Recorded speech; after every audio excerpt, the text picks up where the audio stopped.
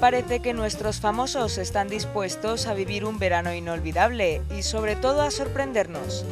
Después de darse a conocer el último romance bombazo de la temporada protagonizado por Isabel Preisler y Mario Vargas Llosa, hoy una nueva pareja podría ser la protagonista del papel cuché.